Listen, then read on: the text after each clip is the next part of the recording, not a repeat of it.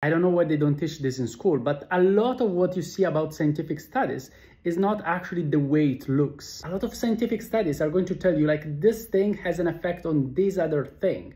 Like, I don't know, eating whatever is going to increase your lifespan or maybe make you stronger or more flexible or whatever. And they're not lying, but the problem is how much of this thing is going to generate enough effect to actually have a real impact on your life. To give you an example, if by spending 1000 per week, you're gonna increase your lifespan by, I don't know, one day at the end of your life, this is a valid scientific study because it's showing how spending money on whatever actually is going to increase your life.